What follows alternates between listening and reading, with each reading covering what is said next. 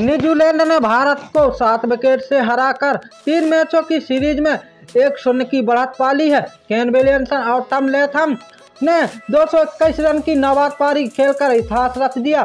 भारत का तोड़ा महान रिकॉर्ड। आखिरकार दोस्तों, आप भी जानना चाहते हो, टम लेथम भारत का कौन सा महान रिकॉर्ड तोड़ दिया है तो इस वीडियो को अंत तक ज़रूर देखना। भारत ने पहले बल्लेबाजी करते हुए श्रेयस अय्यर, शिखर धवन और सुमन गिल के अर्धशतक के चलते सात विकेट खोकर 306 रन बनाए। न्यूजीलैंड के लिए टीम साउदी और लक्की फोकरसन ने तीन तीन विकेट लिए।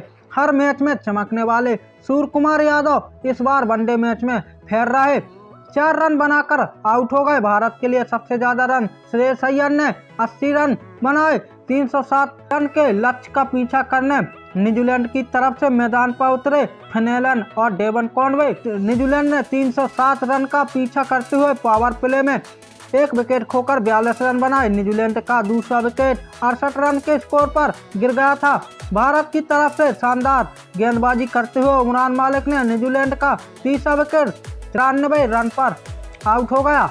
भारत मैच में मज़बूत स्थिति में था, लेकिन मैच को न्यूजीलैंड के दो बल्लेबाजों ने पूरा पलट दिया। जी हाँ दोस्तों, केन विलियमसन और टम लेथम के बीच दो सौ इक्कीस रन की साझेदारी ने भारत के जबड़े से जीत छीन लिया। कीवी टीम सैतालीस दशमलव एक ओवर में तीन विकेट खोकर लक्ष्य को हासिल कर लिया केन विलियमसन।